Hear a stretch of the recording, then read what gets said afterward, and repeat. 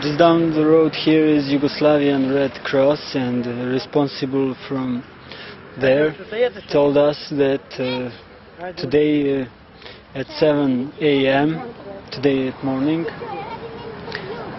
Albanian people came about 150 Albanian people came to treat that place because they are in that school that is a school uh, Serbian people who live there who don't have uh, their home. Their home is burned.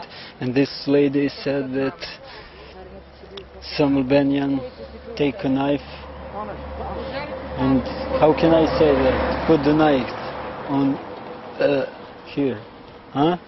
Neck. on neck. That's it. I don't know. And what did they say to them?